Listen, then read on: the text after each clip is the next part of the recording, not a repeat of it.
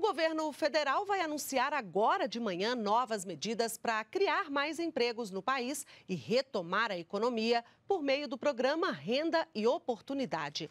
Quem traz mais informações ao vivo para a gente é o repórter Glauco de Queiroz. Oi, Glauco, bom dia para você. Bom dia, Luciana. Bom dia a todos.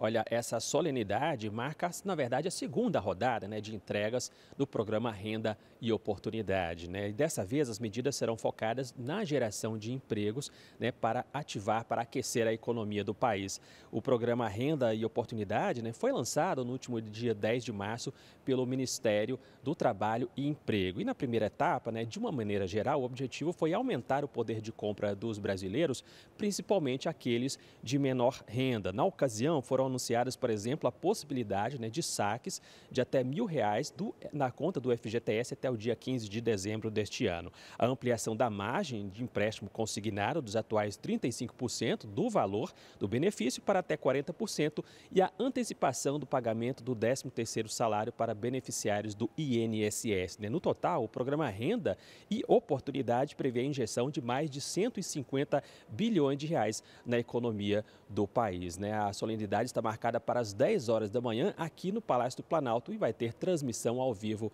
da TV Brasil. Luciana. Glauco, obrigada pelas informações.